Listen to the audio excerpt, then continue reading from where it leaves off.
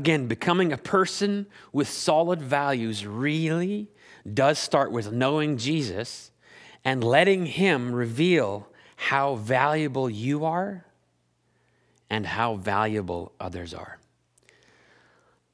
Luke chapter 14, starting at verse 7. When Jesus noticed that all who had come to the dinner were trying to sit in the seats of honor near the head of the table, he gave them this advice when you are invited to a wedding feast, don't sit in the seat of honor. What if someone who is more distinguished than you has also been invited?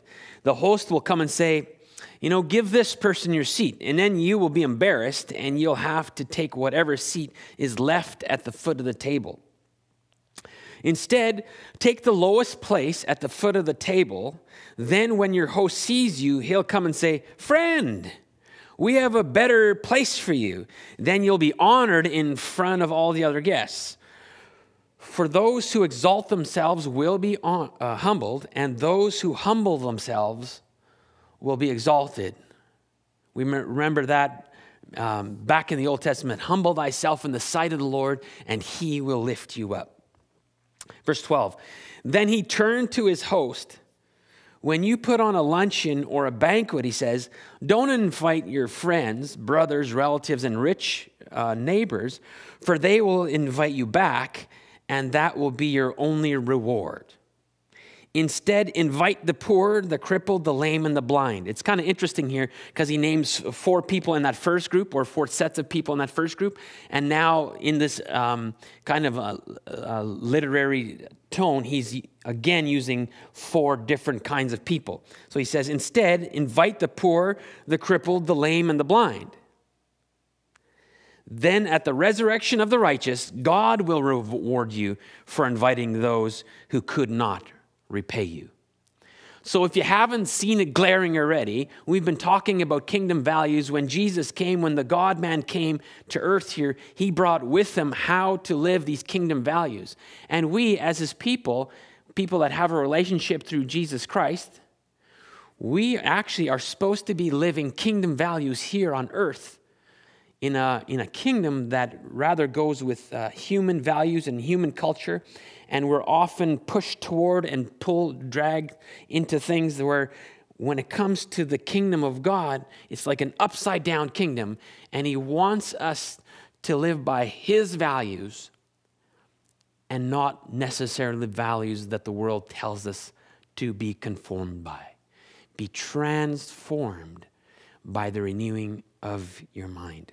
You see, there's this background to this and uh, if we look at it, in, in fact, I skipped a, a couple uh, verses at the beginning of this chapter because it talks again to the Pharisees. And even if you go back to the, to the, um, uh, the previous chapter, it actually talks to the Pharisees and the leaders of the law, people that are in love with legalism, people that are in love with rules, people that think that they can somehow get to God, they can somehow get to heaven, they can somehow be rescued or saved by their own self righteousness. By their actions that make them look good, they think that God smiles upon them. Isaiah tells us our righteousness is like filthy rags. The only righteousness that counts is the righteousness that somehow we get through a relationship with Jesus Christ. So here we have um, in these chapters, Jesus is scolding the uh, Pharisees and these lovers of legalism in chapter 13. And he's saying, too, that the time is coming. You guys need to shape up now. Instead of just constantly polishing your laws and legalism, there comes a time where you're going to be called to accountability. And you think that somehow you'll have the best seat even in heaven. But you got to realize that you're barking up the wrong tree. We're talking kingdom values. We're not talking legalism. We are talking a relationship with God the Father through Jesus Christ and sensitivity to the Holy Spirit of God in our lives. This is really important for us. And then he goes on to talk a little bit about how they love to work it out in the first part of chapter 14. He talks about the Sabbath once again and how they like to count their steps and have this law that makes sure that nothing of work that smells like work happens on the Sabbath or for us on Sunday because we're keeping the letter of the law. And he's saying once again to them, You guys, the Sabbath was made for people, not people for the Sabbath. So that's kind of the background here. So Jesus has been messing with people with their cultural views because he was, he is the kingdom here on earth. So if you can think back to this situation, so often how they would sit, they'd almost be in a U situation. They'd either be sitting or lying down, whatever it is. But the host that uh, actually called the banquet or the party, he would be kind of sitting at the base of the U, and then the, the honored guests would sit beside him, and so he could see everybody that came. And from our story, we have a story and a parable here. And from our story, we see that it would not make much sense at all for me to walk into this uh, party or banquet that I've been invited to and me to saunter on, uh, saunter on up to the most privileged seat right beside the host, sit down and take my spot. And then all of a sudden, somebody more important comes in. And finally, the host would say, Hey, Steve. Yeah, Steve. Actually, this is for Josiah. You're going to have to go sit over there closer to the door. That would be absolutely embarrassing and humiliating.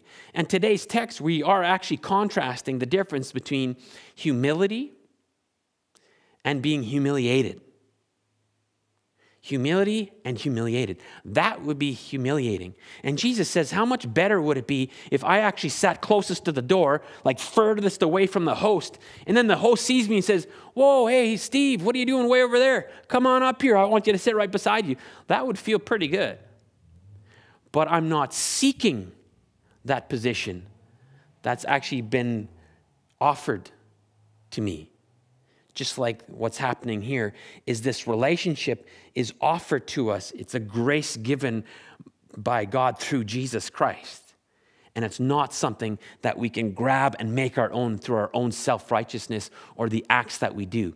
It's really, really important that even the values that we're looking at today, the virtues that we're talking about, they actually come when we know Jesus Christ and we get our value from Jesus Christ and we start to value others because how Jesus values others. That's really important in our time together today. Here in history, they had this U shape of this banquet. And you guys, there was no charity cases.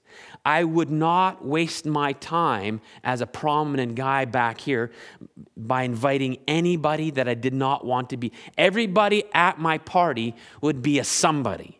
Everybody at my party would be a who's who. You would come and go, Are you kidding? Steve's an acquaintance with that guy? This is fantastic.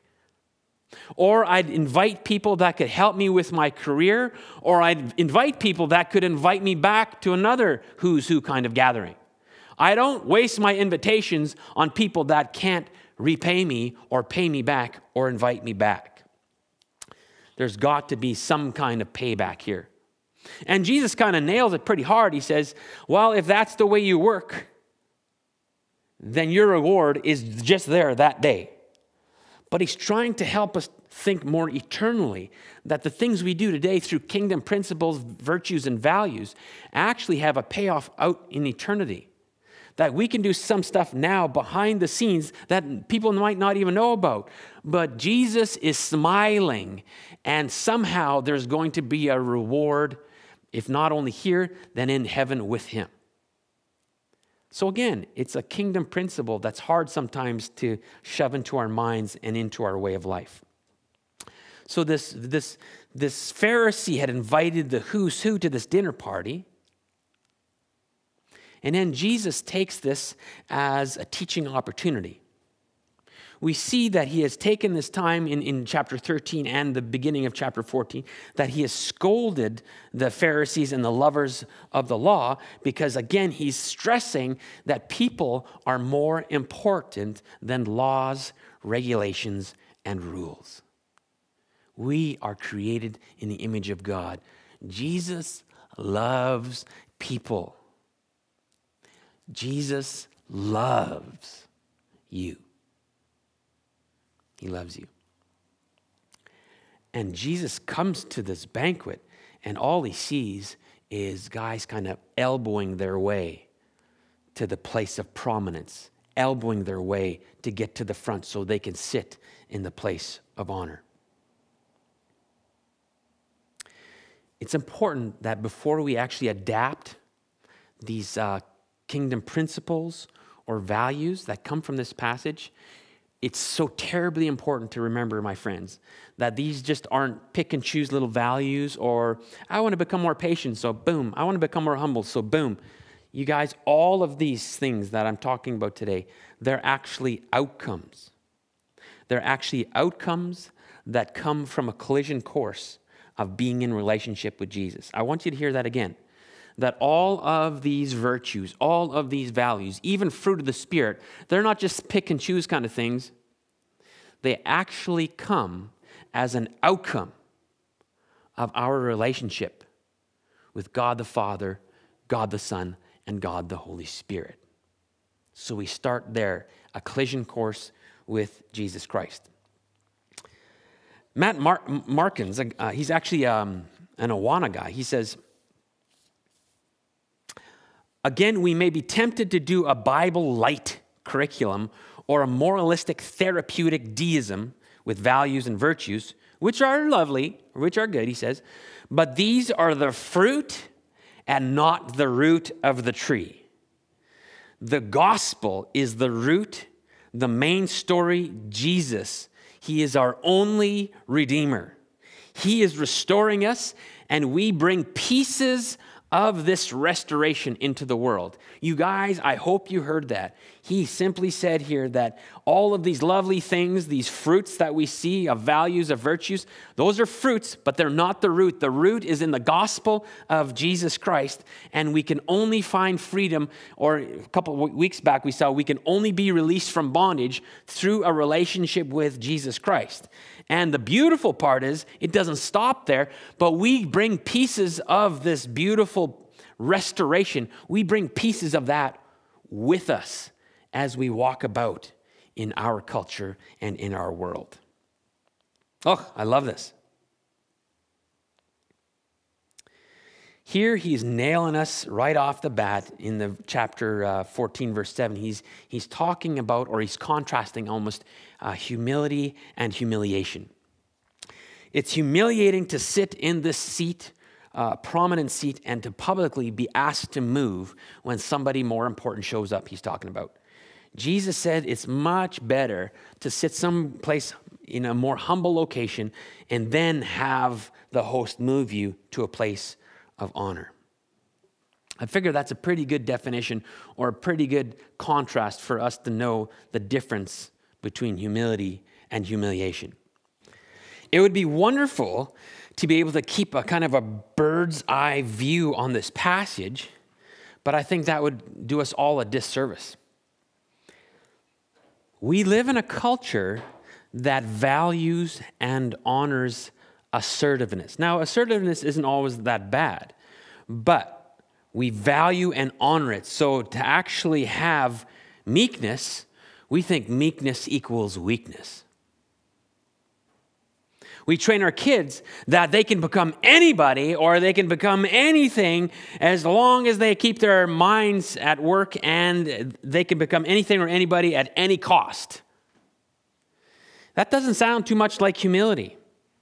We love to compare ourselves by other people.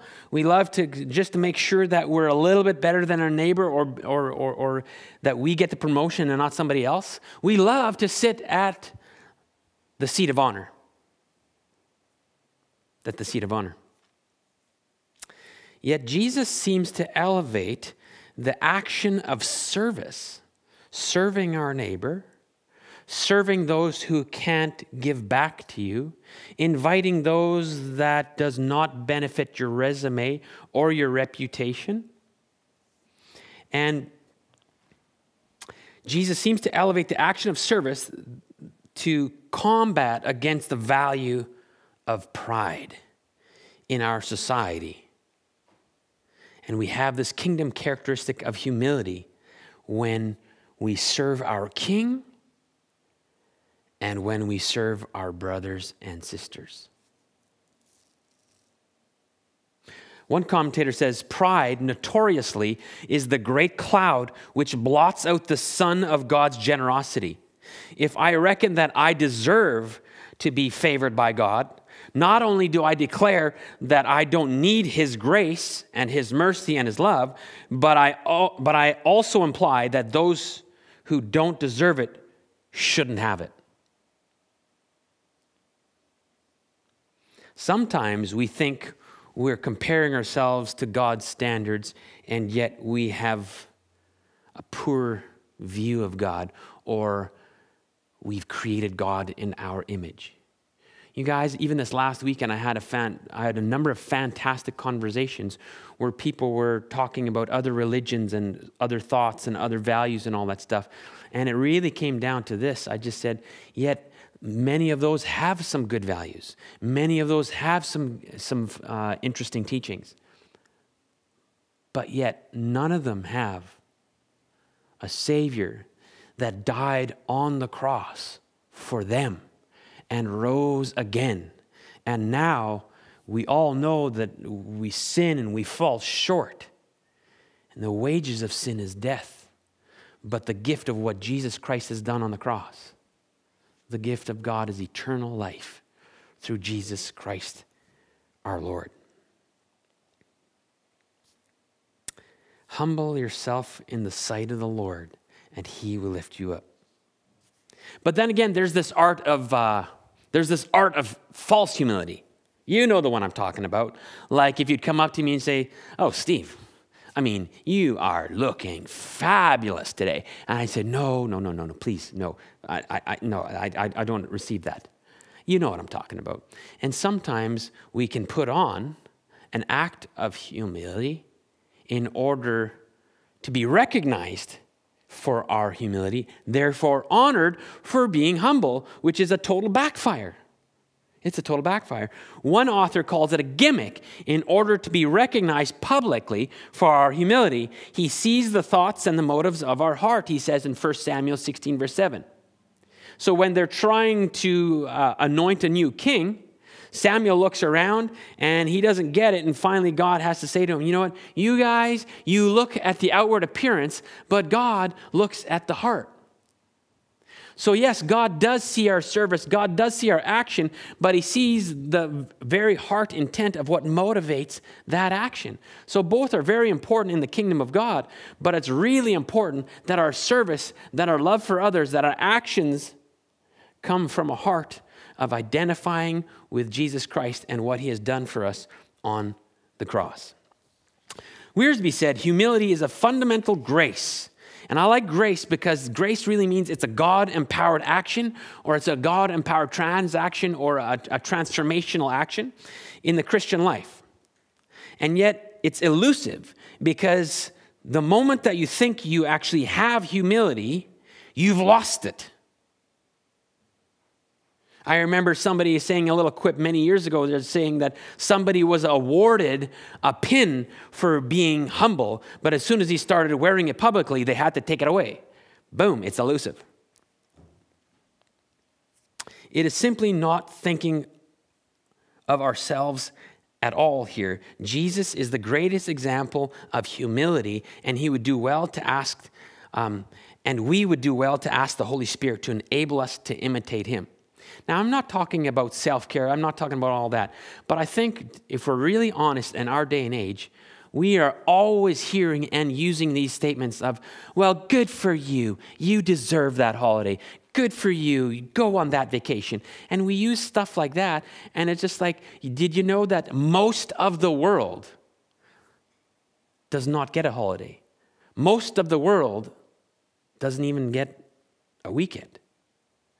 So sometimes I like to push back on some of that language and realize sometimes of some of the, the, um, uh, the things that we get aren't necessarily a position of deserving them, but count your blessings when you do have some of this stuff. We may ask ourselves the question what does this look like? What does it look like, this difference between humiliation or humility? We already know that from our story that he's kind of parsed out that, you know what, you got to take inventory. You got to look at your own heart. You got to look at your motivation and your intention. because right there at the very seat of who you are, there's a good chance that if you're actually in a sober relationship with Jesus Christ, you can figure out that you're struggling with uh, humility or being uh, or this whole thing of humiliation. But He wants you to humble yourself in His sight, having a sober view of yourself. Now, Wiersbe, I think it's important here, he also doesn't say from our, from our passage here today, he's not saying that I prohibit you from uh, getting together with friends and entertaining family and all that. But what he's actually warning us about is entertaining only family and only friends exclusively and habitually. He's giving us this, this admonition, that kind of fellowship, quote unquote. And here we're starting to meddle even with some of our small groups, my friends. Some of us never want to branch out, never want to invite anybody new to our small groups, and we call that fellowship. I think this portion of Scripture is reminding us that if you're only inviting the exact same people and you've been meeting together for years and it's just a good old boys club or you know or good old couples club are we not missing the point sometimes of our walk in discipleship? Uh, Wiersbe continues to point out that this kind of fellowship, quote unquote, quickly degenerates into a mutual admiration society. I like that, but boy, is it meddling. So we only invite people to our houses or we you know, extend the, the, the, hospitality gift. But really, when you look at it, sometimes we're only extending it to people that we know will stroke our egos or we, or we invite people who will invite us back. And here he's saying, in which each one tries to outdo the other, and no one dares to break the cycle. And sad to say, too much church social life fits this description of the mutual admiration society. Our motive, he says, for sharing must be the praise of God and not the applause of our buddies, the eternal reward in heaven and not the temporary recognition on earth. Our modern world is really competitive, and it's easy for people, it's easy for God's people to become more concerned about profit and loss than it is about sacrifice and service, he goes on. We ask ourselves the question what am I going to get from this? When I invite them over or when I'm kind to them, what do I get? And the Lord's got to take out his chisel and chip away some of that pride, some of that ego, to bring us to a place of humility. I like what Bock says very simply. He says, Honor is not to be seized, it is awarded. Honor is not to be seized, it's awarded. He goes on to say that those who are humble recognize their need for God and not any right to blessing. I know that I'm messing with you guys right now because this flies in the face of even a lot of the teachings that we hear out there, even in churches. But here I'm going to say it again that those who are humble recognize their need to be rescued. They recognize their need for God and not any right for blessing. This passage is not just about inviting your friends over for a party. Rather, meals were the arena in which social status uh, was established and maintained. People of that day would not think of inviting the lower members of society to their banquets since these people could give nothing in return. So Jesus is calling believers to offer the same kind of undeserved and unconditional grace that God has given us. That's a beautiful quote from R.T. France. Jesus is calling believers to offer the same kind of undeserved and unconditional grace that God has given us. You guys, this is incredible. When we realize this, when we realize what we have received, this incredible gift from Jesus Christ, and we turn in faith to Him, now one of the actions that we're called to do is start looking out for others, and they may not deserve it. They may get on your nerves. They'll never be able to repay you, they'll never be able to invite you back to their home. But bless them the way that God has blessed you because you can't repay what He's done for you. So here's a commercial break for small groups and for microgroups.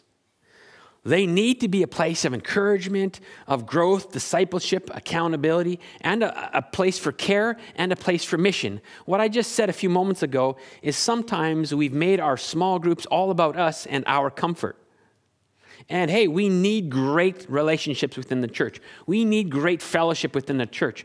But sometimes, at all costs, it's about me and where I feel comfortable. And as soon as we bring in another person, or as soon as we bring in another person that uh, not our style as a group, it kind of breaks down the dynamics. You guys, maybe we need to expand our vision for small groups. Maybe we need to expand our vision for microgroups and for discipleship. I'm part of a microgroup, and the guys that I'm with, it's been fantastic. First of all, in a microgroup, it's a smaller group of people, so it's easier to schedule stuff. It's easier to move things around. It's easier to meet together. And even now, with this whole physical distancing thing, it's way easier to find a patio where you can social distance or physical distance and still have a beautiful time of fellowship and discipleship together. Some of the things that happen at microgroup is it's a time for transformation, it's a time for accountability, it's a time for action and service because in these stimulating relationships you can kind of think how can we get involved or what's something that we can do for next week or is there somebody in need or who can we pray for? And fourthly, there's connection and uh, with connection, what I mean by that is there's fellowship with each other, and there's also worship. We're connecting with God and we're connecting with each other. And finally, there's a call in microgroups and in a good small group to obedience. What are you reading in the Word? What's it saying about God? What's it saying about people? What's something that's nailing me today? And who can I share that with this week? Who can I share that with this week? You guys, that takes a spirit or a virtue of humility. So let me end with this. It seems that our scripture is really telling us to do these three things today have a sober look in the mirror and spend time with the Trinity to understand your identity in Christ and that it's foundational to all these other virtues and values. Secondly, is we've got to humble ourselves and look out for others. We've got to humble ourselves and even start looking out for others that maybe nobody else is looking out for. And thirdly, we got to serve other people with a keen outlook for those who cannot stroke our ego or those who cannot pay us back. God wants to continue to reach people with this beautiful message, the gospel that Jesus Christ died for our sins, and He wants us to live our potential. And you know what? He wants to use you to be an advertisement. He wants to use you in service of other people to help point them toward this relationship that's available with Jesus Christ. You guys, becoming a person with solid values really does start with knowing Jesus and letting Him reveal how valuable you are and how valuable others are. May God bless you this week as you look in the mirror, as you continue to let Him pour into you your identity and your value, and as you start looking out for others that can't repay you, but people that need a kind touch from a person who has been touched by Jesus. God bless you.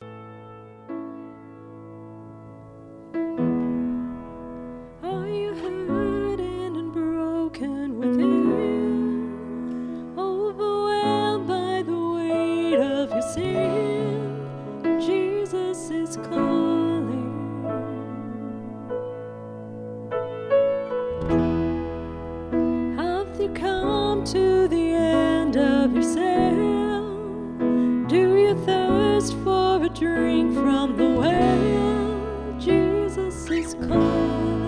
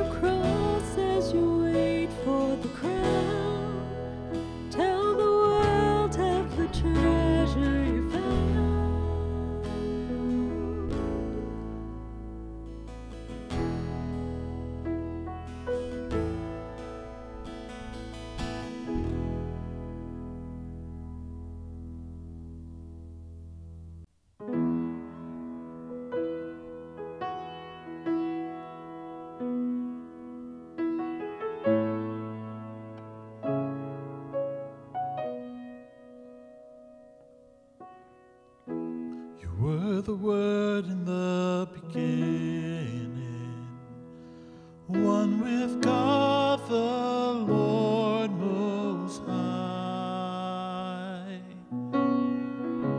Your hidden glory in creation, now revealed in you our Christ. What a beautiful name! What a beautiful name it is, the name of Jesus Christ, my King. What a beautiful name it is, nothing compares to this. What a beautiful name it is, the name of Jesus.